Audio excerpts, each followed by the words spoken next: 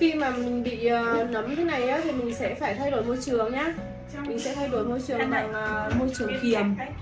Thì uh, tất cả những cái trường hợp mà bị viêm âm đạo khi mà mang thai hay là không mang thai cũng vậy thôi. Sau điều trị mình phải nên khám lại để mà mình xem là có đáp ứng với điều trị hay không.